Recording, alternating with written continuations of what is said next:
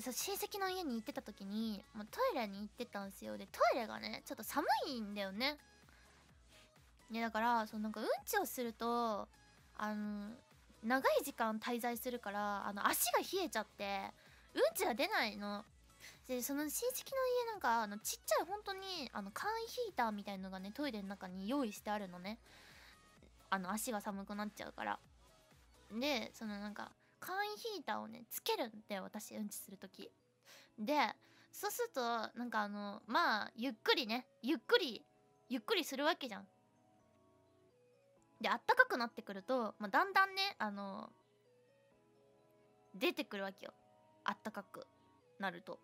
出てくるわけようんちが。うんちが出てくるわけよ。でなんか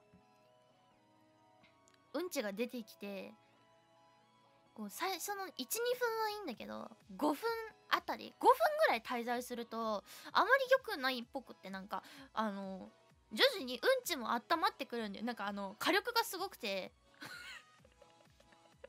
あの火力がすごくてなんかうんちが温まってくるんだよね。そう。でうんちが温まってくるとそのなんか温かいうんちの生温かい匂いがすごい上空にこみ上げてくるんだよね。すっごい臭いの。本当に臭いの。ガチで。温かいうんちって本当に臭いからね。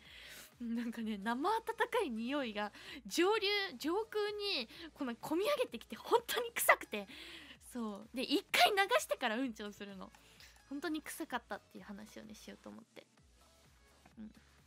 でねあうんちが温まるってことはすごいね暖かいんだよ。